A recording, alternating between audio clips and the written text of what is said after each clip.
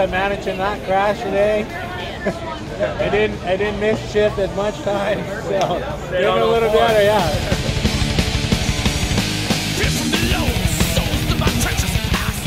Qualifying first thing in the morning and uh, came out on top. Qualifying by about a quarter of a second. Um, inverted the top three rows, so I moved back quite a ways. About three quarters of the way through, I moved up into the into the lead and tried to make a little bit of a gap, gap ourselves from second, third place, and just uh, kept it going. Oh, here's my trophy, number one.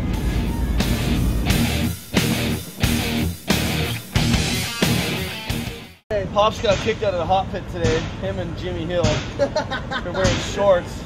Yeah, And Hill's like trying to like argue with the, the with the official, like, well, there's only like two laps left, so it's cool, you know. And the guy's like, no, you need to go, and he keeps yelling at my dad, and Pops is like this. Every time I say something, just. Then finally, they got kicked out of the hot pit. So they come back here, they change into pants, and they're like, well, fuck, the race is probably already over. So they go up to the stands and start watching the race. Then they. Oh, he went to the stands and then came back. Jimmy Hill ran back to the Jimmy Hill said, So I'm out there on the track and I got no crew in the hot pit. They're just like just watching the race, just chilling and changing clothes and shit. Then it's all the mandatory caution and like, oh shit, we got time to get back down there. So then I got back down there and then I broke. So it was like, I got a little break in between. It's perfect timing.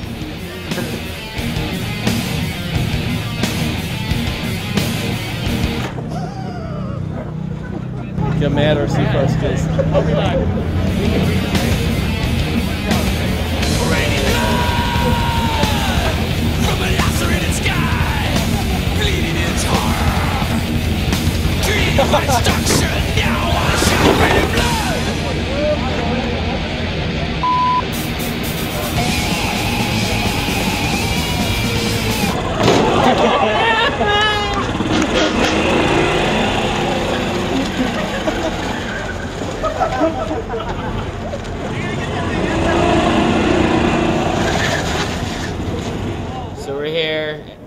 Everything's over. The races are done, and I would say my weekend was uh, went not so hot. Saturday, brand new truck, had a lot of problems.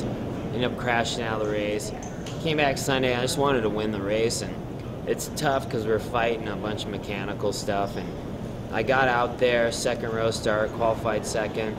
Just missed it by a fraction of a second, and uh, came out and uh, ended up having a battle for second place. Got by that guy, caught up to Marty Hart, and we had a gnarly battle going. And, and uh, only were like a couple laps left, and I had to make a move and cut inside of him and slammed him. And he had enough speed coming down from the outside that spun me sideways, and he went off the track and got a run around the jumps, and he got back by me, and, and then he had two truck links, and that was the end of the race. So, but all in all, next race is Glen Helen. I feel like that could be like it's my hometown spot.